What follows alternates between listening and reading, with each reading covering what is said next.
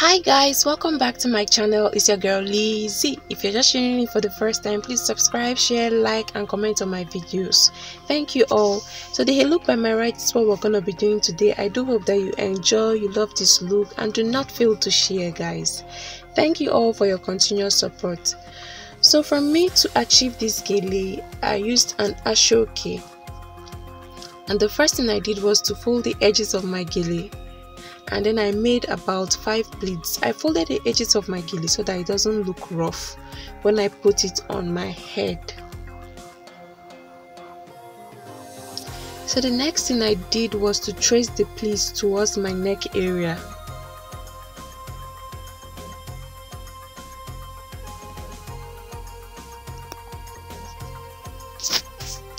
So the rule for this particular gele is 80-20. One side has to be really longer than the other side of the gele. So then the next thing I did was to make pleats.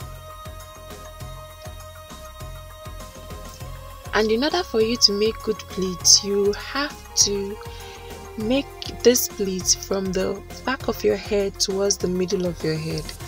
So if you have no idea at all on how to make pleats you can check out some of my other videos. They are really cool and they will guide you in doing this.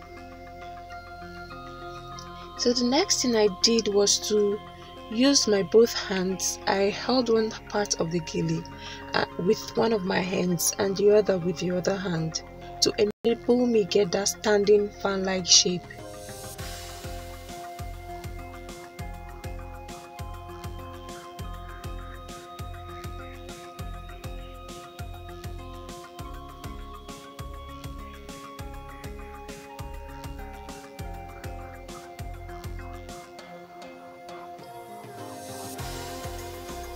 so after making pleats after making pleats the next thing i did was to fold the 20 part of my gele and then knot it knot the both edges. I just knotted them together.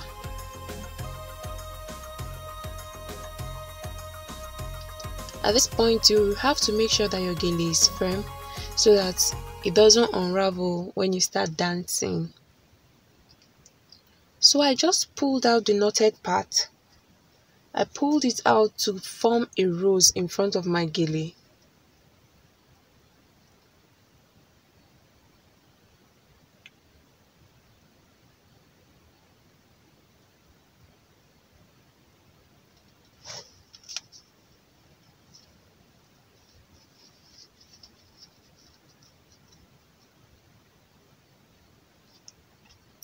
And when you're done with that you have to go back to make your pleats to stand very well because that is the beauty of the gele.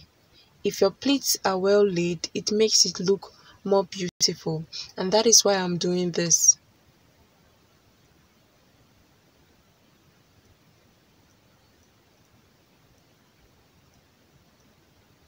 And for the rose part i wanted something round that still looks pretty. So that was why I did my own rose round and not exactly what you saw in the picture. Thank you guys for watching. If you really love this video if it has helped you in any way please do not fail to subscribe share do not fail to comment. I want to see you all in the comment section. Thank you all for your support. Please be cool. Support your girl. See you all in my next video. Bye bye Mwah.